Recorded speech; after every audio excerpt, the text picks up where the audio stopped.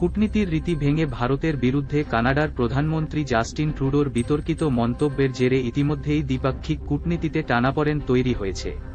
কানাডার মাটিতে সে দেশের খলিস্তানি নেতা হরদীপ সিংহ নিজ্জরকে খুনের জন্য ভারতীয় গুপ্তচর সংস্থা র এর দিকে ট্রুডো অভিযোগের আঙুল তোলায় উত্তেজনা ছড়িয়েছে সে দেশে বসবাসকারী শিখ সম্প্রদায়ের একাংশের মধ্যেও।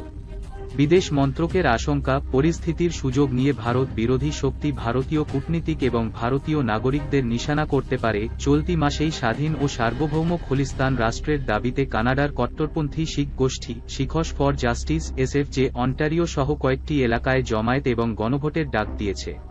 ভারতে নিষিদ্ধ এবং খলিস্তানপন্থী সংগঠন সাম্প্রতিককালে কানাডার কয়েকটি ভারতীয় দূতাবাসে বিক্ষোভ দেখিয়েছে। এই আবহে উত্তেজনাপূর্ণ এলাকাগুলি এড়িয়ে চলার পরামর্শ দেওয়া হয়েছে ভারতীয় নাগরিকদের।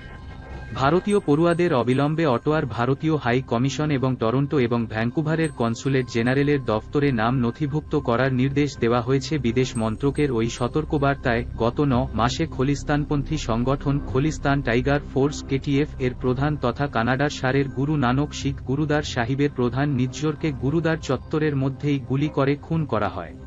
সেই ঘটনার তদন্তে ভারতের গুপ্তচর সংস্থার ভূমিকা ছিল বলে কানাডার পার্লামেন্টের জরুরি অধিবেশনে সোমবার দাবি করেন সে দেশের প্রধানমন্ত্রী ট্রুডো। কানাডার তদন্তকারী সংস্থাগুলি এ বিষয়ে আরও বিশদে তদন্ত করছে বলেও জানান তিনি।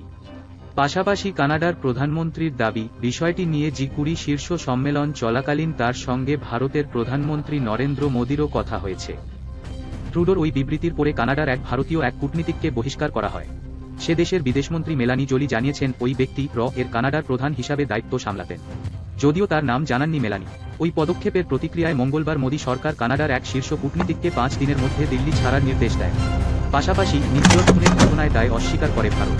ভারতের সার্বভৌমত্ব এবং জাতীয় সংহতির বিরোধী শক্তিকে কানাডা মদত দিচ্ছে বলে বিদেশ মন্ত্রকের তরফে অভিযোগ তোলা হয়।